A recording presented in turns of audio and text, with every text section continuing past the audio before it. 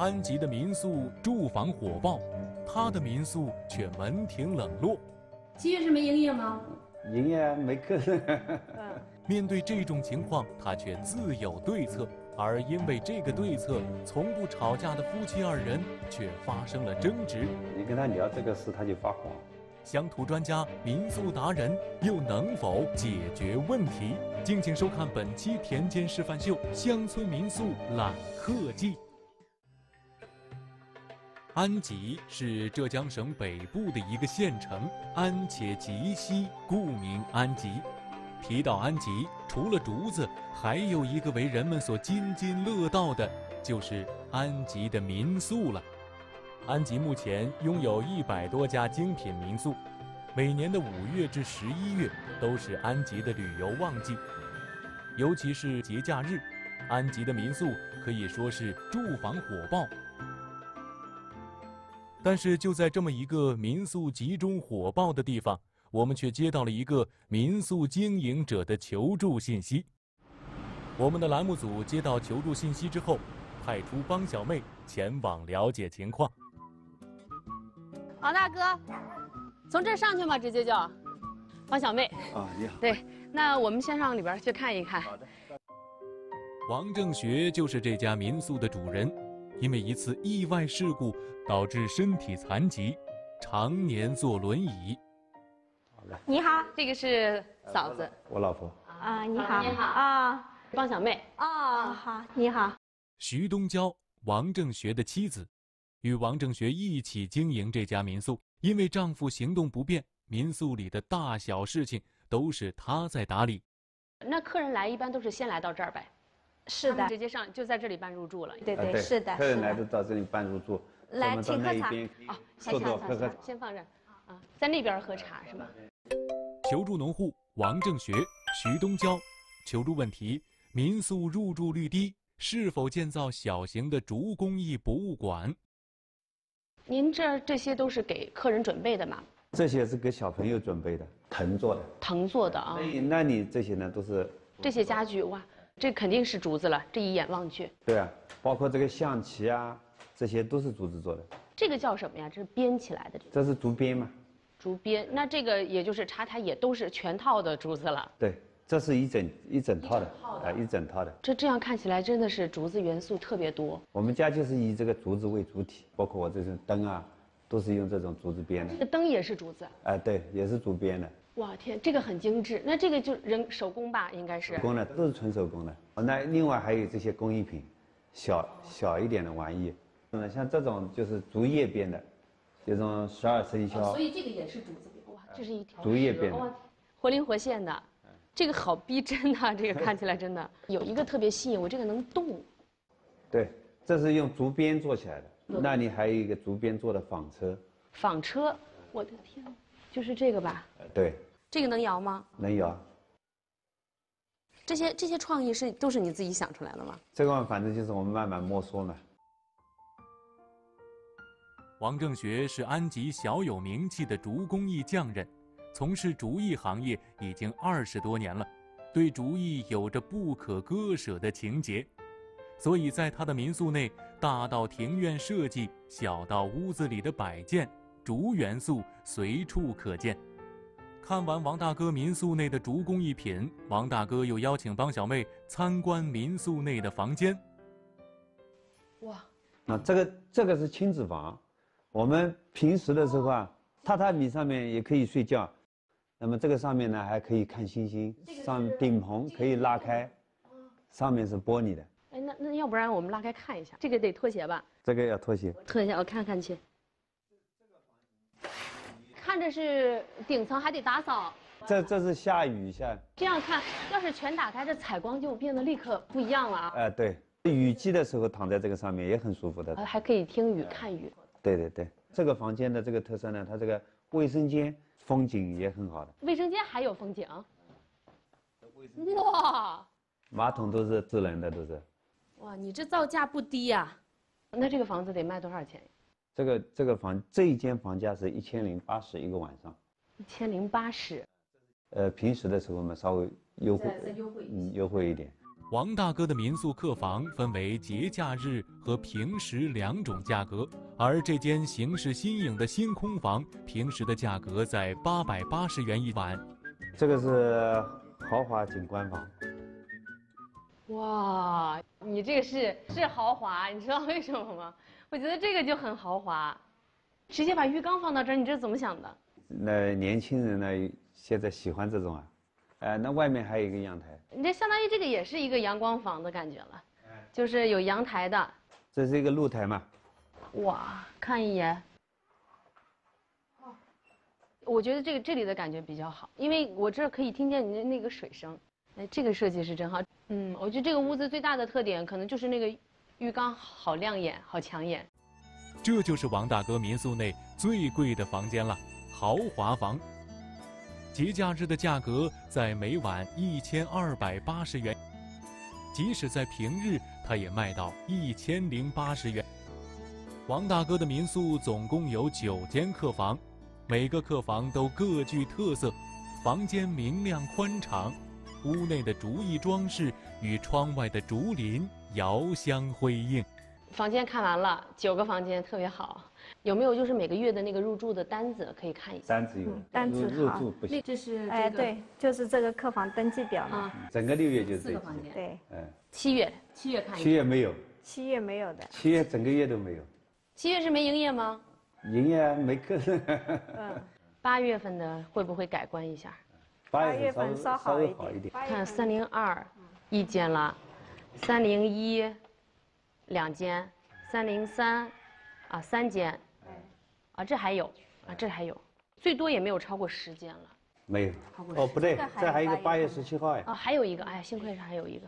十八间可能，十八间、十七间大概。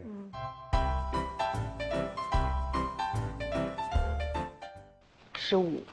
十五间啊。十五间，嗯，整个八月是十五间。对。七月一个月都没有。对。九月份感觉怎么样呢？九月份也好像一个月只有两个周末吧，有客人的。但是最多现在看起来应该还是八月。哎，对，最多是八月。八月我们整个安吉的民宿行业它是高峰期了，它是高峰期的，我们就是每个周末来一点。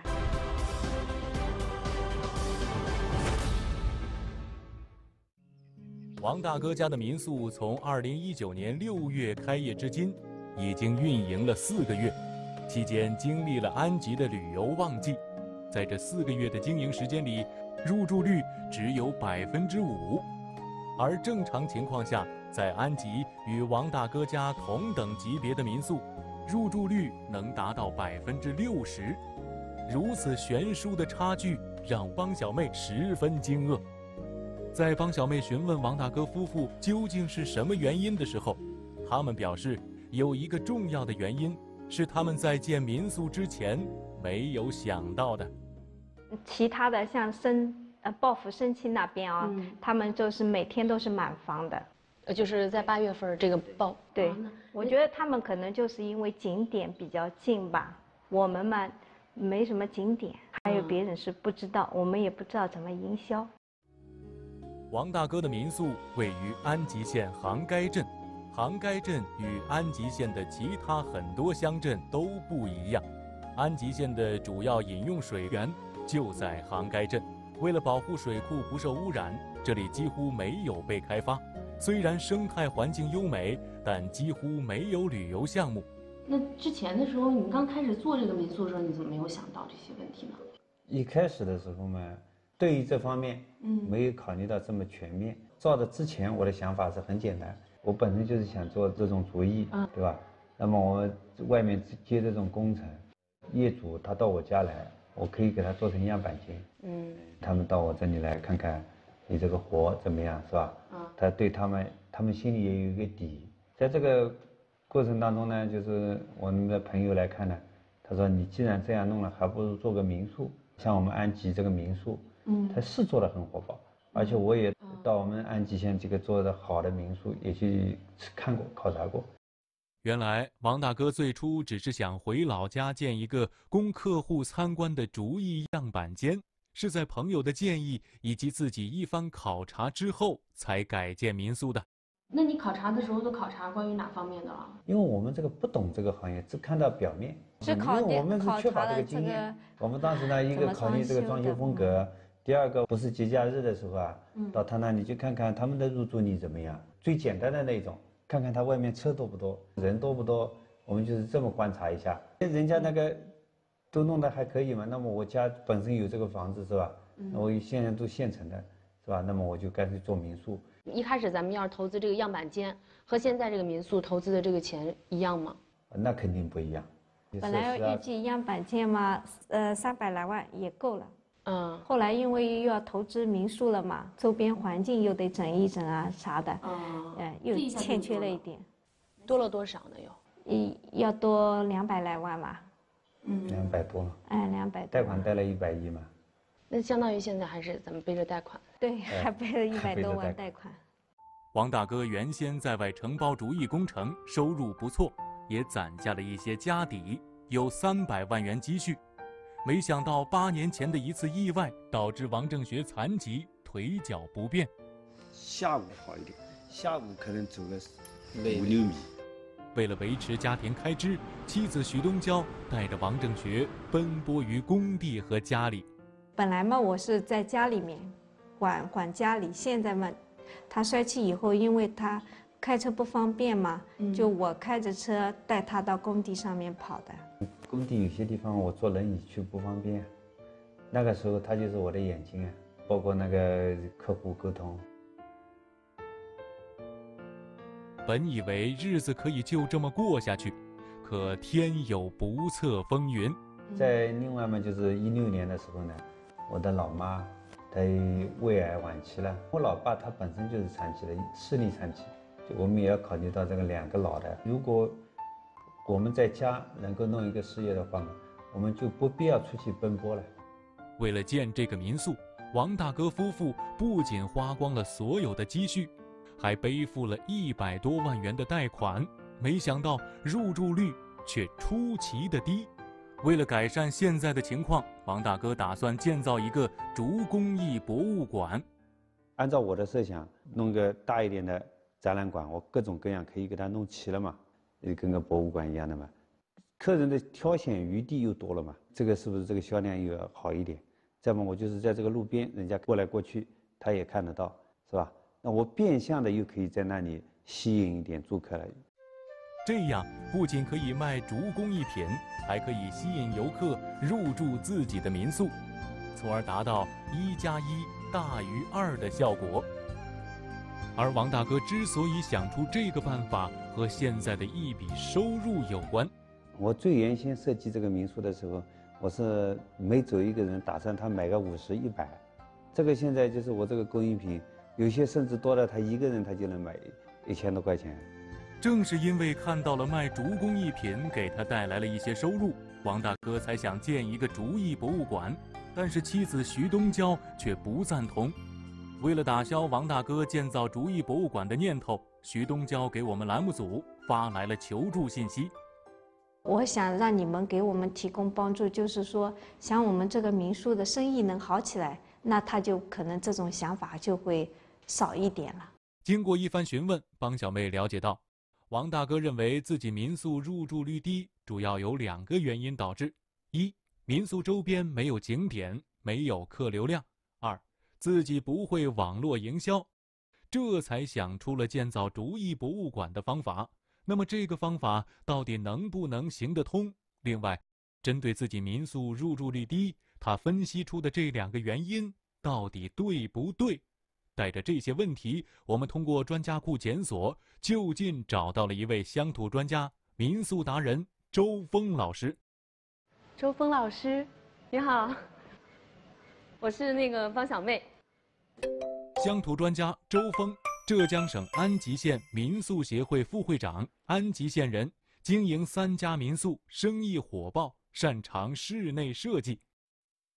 说起周峰。最让当地人津津乐道的就是他用小水电站改造的民宿。而提起小水电站，安吉人都不陌生，因为当地山多溪水多，所以在过去的很长时间里，安吉县利用分散的溪流、小河所形成的落差，建设小型水电站进行发电。在二十世纪九十年代，安吉这座小城拥有一百多座小水电站。如今，随着时代的发展，很多小水电站都被废弃闲置，而周峰却创造性的把安吉县龙王村的一个废弃小水电站改造成了一座别致的民宿。哦，就这俩就能对起来，对对把这做了一个新。对，包括我们的设备啊，你看我们发电设备都保留在那边，没有拆除。这个还保留呢？对对。这个在哪？在底下。在在在我们底下。要要不咱们先去这儿看一下，我还挺好奇的。这下面就是我们的发电机组，没有保留一些老的元素，都把它保留下来了。嗯，哦，你是把这么大的空间都留给他这些发电机组了？因为是水电站嘛，就不拆了。因为我我们做这个主题叫水电站民宿嘛，也就是因为这个机器才做的。废弃的发电机组反而成了这家民宿的特色。这是我们的房间，那我们只是把地面、墙面做一些处理。呃，我们一共四间嘛，这间叫站长室，那边面有一间叫值班室。值班室。然后一间是那个设备间，啊，然后呢这间呢我们这间叫发电间。那这个屋子的这个价位应该比较高吧？呃，我们都一样，我们四间房的价格都是一样的。一样的。不去区分它的价格。这个大概是什么价位？啊，我们现在是平时卖到是一千零八十八，一千零八十八是一千两百八十八元一件。哦，那这个价位其实不低呢。呃，还好吧。这家民宿的房价和王正学大哥家相近，但是入住率却大相径庭。这家拥有四间房的民宿，在六至九月份的这四个月里，入住率达到了百分之八十。啊，看了这么多你的那个入住率之后，我想特别想问一问，就是咱们是怎么做到这个入住率这么高的呢？首先一个是你的产品要够好，在在我们做做民宿，我们其实把它当成一个产品来做的话，你就会去分析它嘛。是其实也没太多技巧，产品好，推广好了，然后，呃，你的曝光度高了，然后客客户体验度好了，那自然会有复购嘛。周峰老师，我们其实这次来呢，主要有一个目的是希望你能够。给一个做民宿的人帮忙，能让他入住率哪怕只是稍微的往上提一提啊。呃，要提入住率的话呢，呃，入住率的话，我们得去现场看一下。但是如果说想立竿见影的，这个这个事情是，嗯，比较困难的一件事情。在我们的一再邀请下，周峰答应去帮助王正学。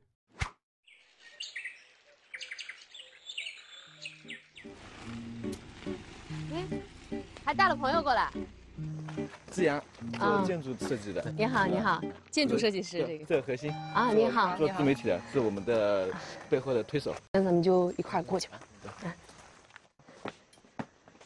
来，你好，哎，哥。你好。这个应该就是他们的那个接待客人的大厅，一般来了客人都是直接来这里。小心，小心。嗯。再见。好，好嘞。咱们怎么看看？先看一下吧，先逛一下。先逛一下。自己看自己的。自己看自己的。好吧。看一下吧。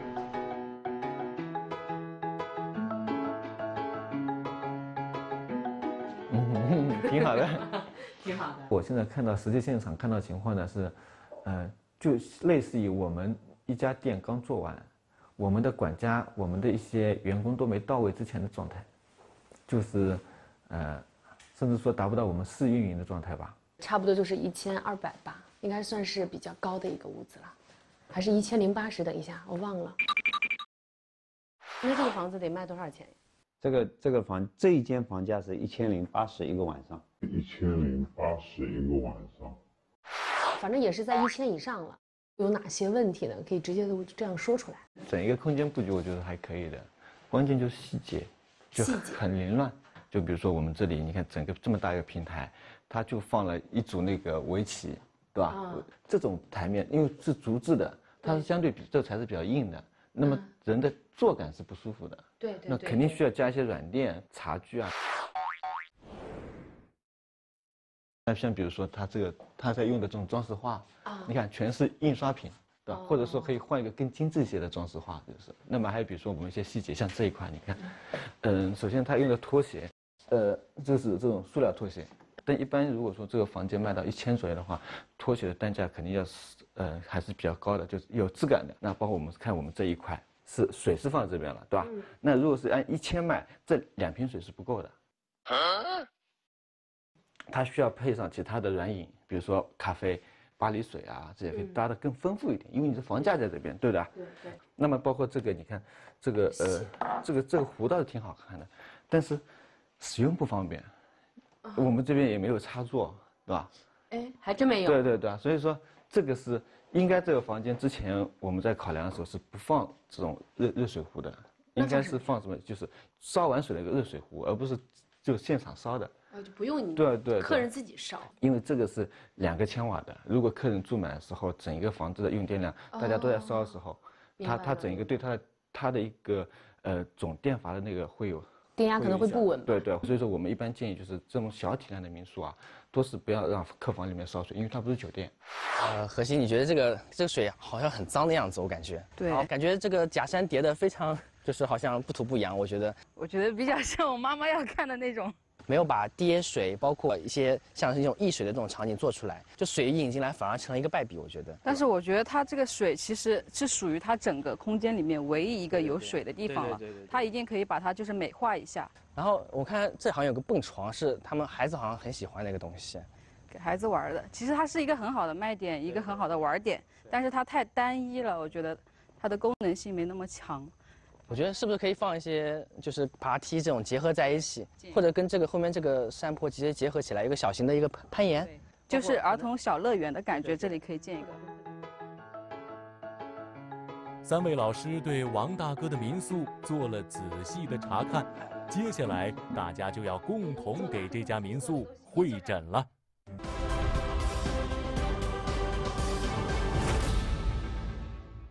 首先就是他这边呢有一个。很紧要的问题就是现在要建造一个博物馆，这个博物馆就是竹工艺博物馆。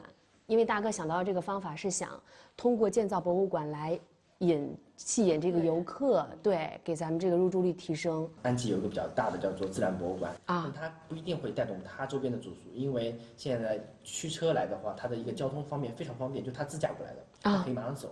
所以说光离得近也没有什么戏。对对，因为现在住在民宿周边没有景观资源的太多了，那只是他们因为现在民宿成为了旅游的目的地，他是就是为了来住民宿才来民宿的。其实还是要提升自身的这个品质。那这样的话，就是建议和不建议，您的意见是？我建议是不建议，我觉得这个钱用的方式不太对。我建这个竹工艺展示馆呢，就是说它这个工艺流程在里面，人家到这个里面，他可以观察得到。像我们这个家里呢，区域空间太小。你展示的东西太少，从目前来看，人家这个顾客带走的东西，他带走的足工艺还是可以。那我想呢，如果这个的话嘛，就是我这个二次消费也可以提高了。他们那些好一点的民宿，它都在景点附近，运营的这个收入呢，肯定是要比我们高一点。那像我们这里呢，我一开始也是运营收入可能要比他们差一点。那么我就是一加一等于二，那我就能够再弄一点那个二次消费。这这是两个概念，你把一个本身两个都没做好事情，想把它强加在一块，促进一个销量，但不要忘了，你想打算继续花两百万，这已经五百万花掉了，七百万，你的点在哪里？你一直在非理性的投入你的任何项目，你现在是因为在足工艺这块是没有花钱，你只是把我们看到这种家具放在这边，你只是一个采购成本。对吧？你没有投资成本的民宿就是民宿这块生意，民宿都没做好，我们就是先把民宿讨论好。因为我们在光你这个空间，我们就发现很多问题，有各种问题。如果是我我自己的民宿，我说说我的管家，我的打理层，我直接开除掉了。为什么？叫没有用心经营。我是做经营的人，从我今天从大门进来到我们现在坐在这边，我可以很负责任说，安吉这么多民宿主，你是最不用心的一个。对吧？他说我不上心，我心里想，我自己心里在想，我还算上心呢。既然这么重视一件事情，那你为什么后面不好好更去重视它，把它做好呢？这个本身经营民宿我是第一次嘛，新手嘛。没有经验，咱就是说，三位老师也给了意见了，咱就别往继续投这二百万了。您同意吗？这个嘛，那就跟我们那个周峰老师说的有道理，是吧？先把这个先弄，弄了再那个那个，我还是迟早点还是要弄的。迟早还是要弄，但是现阶段咱放放了，暂缓，暂缓。咱们先不执行，是这个意思吗？呃，对。到这里为止，大嫂希望王大哥不要建造竹艺博物馆的诉求已经大致完成。但王大哥家的入住率这么低，究其原因，真的是王大哥所说的那样，是因为周边没有景点资源和不会营销导致的吗？首先，作为民宿来说，入住率不高。那么，其实七八月也有比你更偏的地方的民宿，入住率也很高。我们在杭盖更远的地方，就很离你们很近的。那他为什么会有流量？为什么你没有？问题不出在别人，出在你自己身上。周峰认为，王大哥家民宿入住率低的原因不在于区位的好坏，而在于民宿本身的品质以及细节。我们刚才整个看了一圈，那确实有很多细节不是特别到位的，主要是软装这一块。我们现场看到的很多问题是什么呢？就是你太过于把你一些空间变成家居款了，包括我们公共卫生间门口的这个毛巾，那可能是没有客人，然后我随手就放个毛巾擦一擦。如果今天有客人来呢，你这毛巾来得及收吗？反正就很随意，很随意，就是我居家的状态，它不是个经营的状态。嗯，在我们的民宿，我们要求它必须是什么呢？经营状态，这跟有没有客人是没关系。这个对的。他们说的那些呢，就是服务要用上去啊，呃，卫生什么东西啊，那么另外里面添点什么软装什么东西，这个我认为是对的，这个应该。从庭院这块考虑，外部空间的营造来讲的话。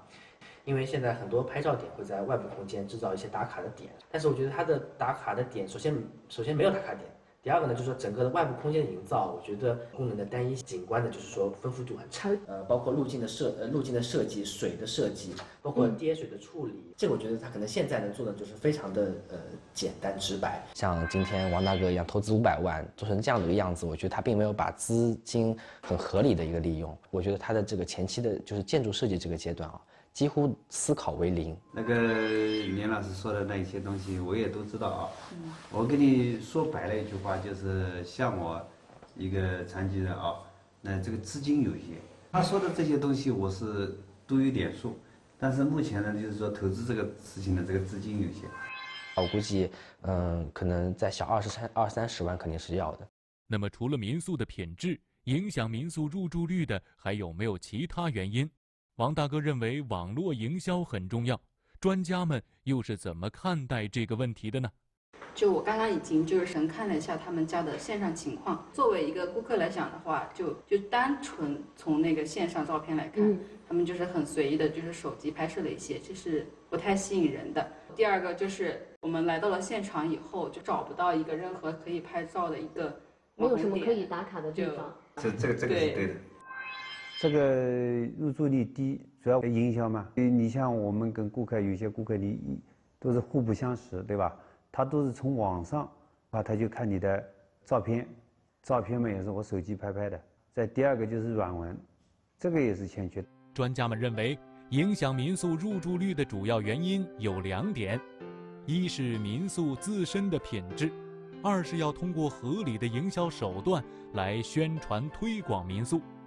接下来就是如何提高入住率。周峰老师给出的意见是降价。八百到一千二之间的民宿，目前这家店是不具备任何竞争力的。因为同类别这个价位区间的民宿，我室内空间、我的软装配备，就像我们之前的很多细节，包括服务流程，它其实相对来说是比较更细致一点。所以就王王大哥这边一千二可以没没问题。我说实话，一千五也没问题，只是说有没有人买单的问题。您同意吗？这个东西是这样的，那虽然说我们前两个月是没生意啊，但是根据我这个量的回头率还是多的。咱们有几个回头率？呃，一个是他那宿迁的，他们来了，啊，他也来了两次了，是吧？再一个那个南京的，他发了朋友圈。对，我插一句，那个时候他是几月份？啊？几月份？八月份。八月份，安吉所有的民宿房价都是一千四往上。周峰老师认为，可以先用降价的方式来提升入住率。那为什么我们强烈建议你降价？是目前这家店给我们的价值感是没有那么高。这个专业角度，我这个房间应该是多少？房价是吧？哎，房价。房价按照目前你这里的房价，五百到八百之间是个合理区间。五百到八百，那我们现在就是给它均价，均价就在七百。七百好了，是吧？按照你们说的那一种降价，那你买房，它大概什么时候能够回本？什么时候能够回本？这这也是最关键的。这是一个非常幼稚的问题，没有一个人敢给你担保说什么时候回本。我们的认为，市场全中国的市场，民宿回本五到六年是一个非常优质的项目。他说这个，呃，五六年是吧？五年，你按就按照他这个算的话，你你也拿不回啊。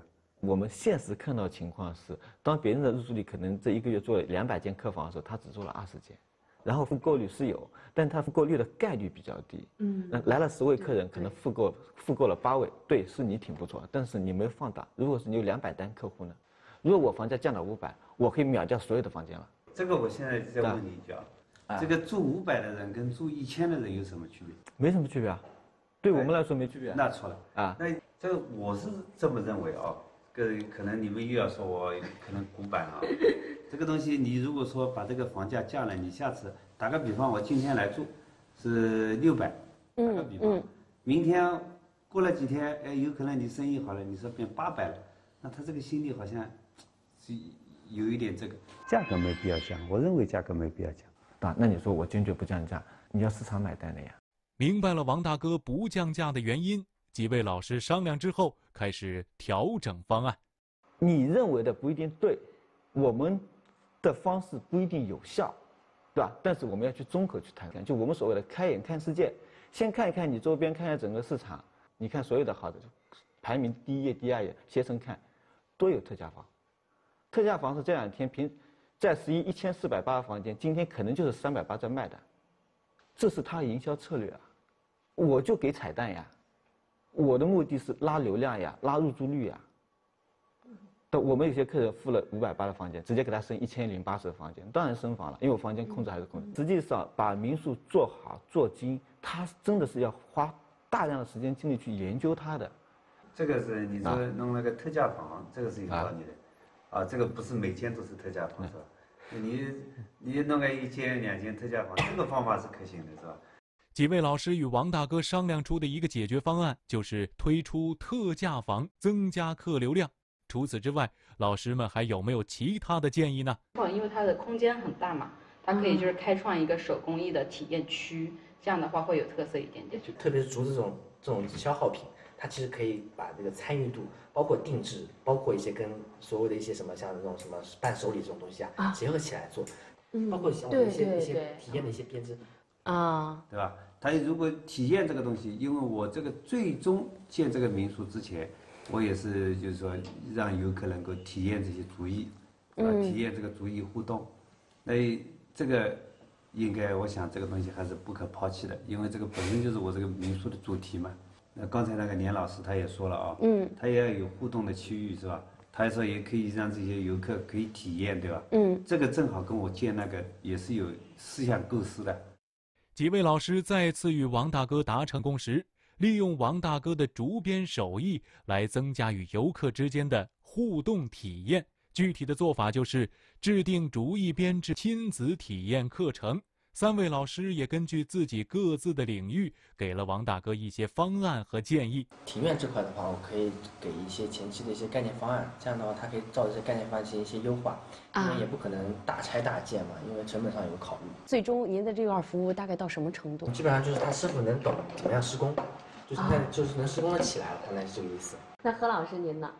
嗯，我们这边的话，因为主要是在于它的这个整个建，就是这个民宿的包装方面嘛，啊，所以一般就是可以帮他，就是把图片优化一下，拍摄一下吧，拍摄一下，对，然后他们的整个的介绍的文章，然后这是一篇，给他拍个宣传片，宣传片，对，就是一个把他民宿整个的展示给人家的宣传片，就一分钟视频，一般是一篇文章，一个宣传片，拍点照片，这三点我没理解错吧？那我能想到的最直接的，我把我全套设备给他一套？叫我们管家把我们店的所有的东西带一套过去，帮他摆一个房间出来。也就是说，呃，周周老师，您可以把管家拿来给您来讲一遍，一遍流程走下来，给您详细的说。啊，这三位老师都极尽自己现在有的一些资源和能力来帮您了。谢谢谢各位老师啊，我们教给你方法，但是你要去那，呃，能完成度是多少？那么看于这这真的只能说在于你自己了。像呃，连老师这边说的，我们方案出来是没问题的，就包括参考方案我们都可以给到你。但是确实就像你说的，你投入要需要资金，对吧？包括何老师这个没事啊，这个投入嘛，我 这个东西就买东西嘛，我再再去买嘛。那么到此为止，老师们所提出的建议总共有以下几点：一、做好民宿的服务和细节；二、推出特价房，增加客流量；三、通过增加逐一编制亲子体验课程来增加与游客之间的互动体验；四、做好网络营销，及时关注线上信息。而三位老师也很快行动了起来。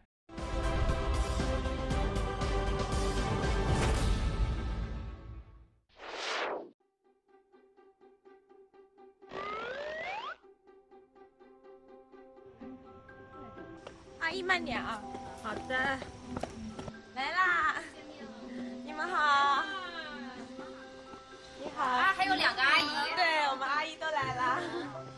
辛苦辛苦，还带了这么就就带了什么这么多装备？那那我我们接一下吧，还是？好好好，好，谢谢，谢谢啦。这个哪里？这里面。来，阿姨，我们这边放东西。好的，先把它对这些对这些清理出去，然后烟灰缸、牙签和毛巾，阿姨这边要重新叠一下。哦，好。水清出去，这个茶壶也清出去。对，茶壶房间里不放啊。然后这个也拿出去。毛巾要重新叠，你要看的。哦，好的。啊，毛巾的叠法要统一的。哦，啊，是的，我要来学一下。你如果说叠三个要对叠三者脚对齐，哦，脚对齐。嗯。叠的时候还手要用点力气给它压平整啊。压一点，对，稍微压一点啊。哦，这里还要铺一块。对，还得这样铺起来，这样的话颜色就不单一了，然后加上。客人也很有用，为什么？太热的时候小毯子稍微披一下，外面晚上山里凉。这个是那个就是毛巾毯吧？对。哦，这个网上都有的。哦，在网上购买就行。是啥？阿姨，这个这是体重秤。哦，还要体重秤。对。每个房间还需要一个体重秤。对，每个房间都需要一个体重秤。这两个是口碑。对，然后这边的话就作为一个就是休息的茶，喝茶的地方，那么把这个去掉，对，这个，然后我拿对，要去要撤走，对，撤走。这个这个就是放在这儿，感觉更好，对，放在这儿，不是放在那个柜子上面，嗯。然后等一下我会再给你总结的。好的，好了，好。阿姨，我们看一下卫生间，那个毛巾要帮他们重新叠一下，然后阿姨把玻璃要擦一下。嗯，好的。毛巾重新叠一下。嗯，可以看一下毛巾怎么叠。哦，好的。浴巾你如果说厚的话，你就不能这样叠，那么它就放不牢。哦。如果说是像薄一点的，那就没关系，就这种叠法。哦。如果厚的话，你就把全部摊开。嗯。这样对叠对叠之后再叠，这样就会好叠点。哦。还有你这个水龙头不要对着客人，最好稍微呢转一点，它开出来就会不会飙到你的身上来。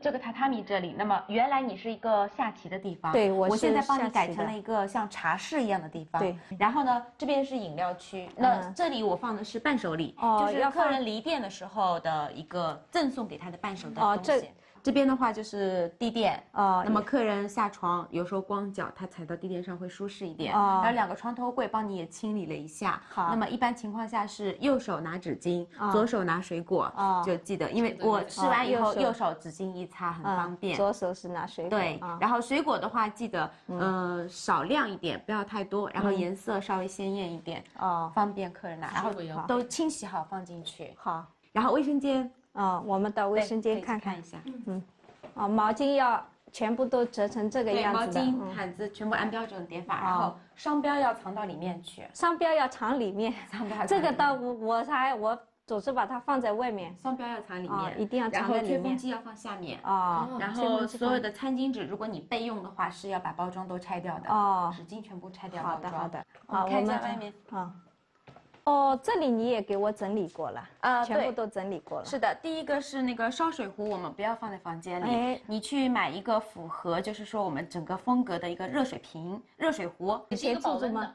对，是个保温壶。他在工区的时候，他今天要住了，他上楼了。那么，哎，你提醒他，你可以拎一壶水上去喝，然后他就拿上来就好了。哦，对。然后水杯的话，就换成这种透明玻璃有质感的水杯。另外的话，烟灰缸这些都不需要，不需要是吧？我本来还有个烟灰缸，然后再放个花瓶，全部拿走了，花瓶也拿走了，都不需要，就很就这样很干净整洁就行了。对，是的。这简单的这么一收拾，但是其实好细心啊。大家有什么收获？是，我也觉得有点变样，变样变了很多。好像比原来要整洁一点，而且更贴心一点。对，有些很很多细节我们都是没有想到的哦。就是细节，是动了一点细节就完全床头上的呀，还有床床旁边的这些垫子啊，还有包括这个床上搭的那个毛毯啊，都是很细心的，很细致的。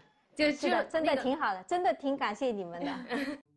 小贴士：民宿内的布置要以客人的需求为主。尽量营造舒适温馨的环境，如毛巾叠放整齐，纸巾要拆开包装，水果要清洗干净等等。而何鑫老师也紧随其后，带着他的摄影器材，在王正学家认真的取景拍摄。何鑫老师还把竹艺编制亲子体验课程的详情通过网络推文的形式发布出去，而做建筑设计的连志阳老师也连夜赶制出了设计图稿。现在呢，大家对这些建议都是非常有信心。那到底有没有效果？效果怎么样？我们拭目以待。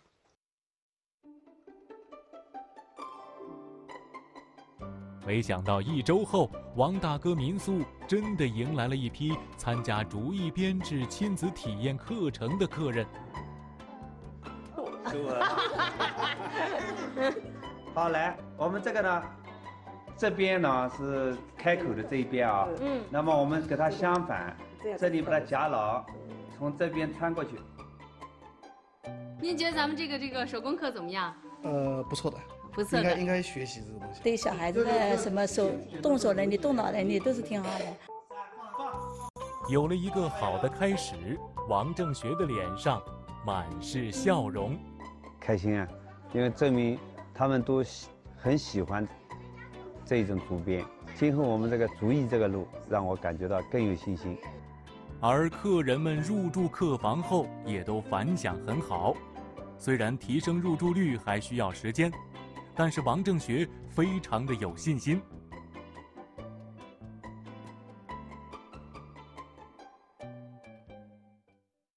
那么王大哥家的民宿入住率现在又怎么样呢？王大哥又是否按照连老师的设计图纸进行了外部空间的改造？在节目播出之前，我们特意做了一次回访。王大哥说，他除了房间内增加了一些软装。比如帐篷之外，室外空间也做了一些调整，不仅增加了儿童游乐设施滑梯，还在山上开辟了一条游步道。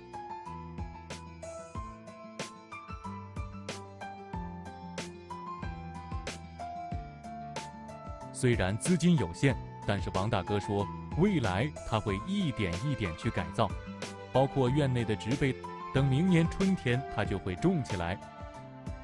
他说：“现在也陆续有了点客人，他相信明年他的入住率一定会提高。”